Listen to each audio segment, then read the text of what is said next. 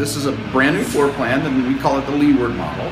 It's a little different than anything we've done before, and we've tried to take advantage of the views. Uh, we've done some things with elevation changes throughout the interior of the home to really give it a livability that we haven't seen before.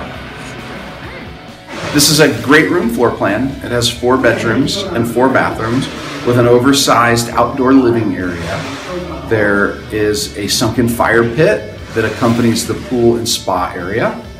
We also have a library and a formal dining room. There'll also be an aquarium wine room as part of the dining room. The interior is going to be finished very clean lines. There's going to be more color than you've seen in the past though to give it increased dimension.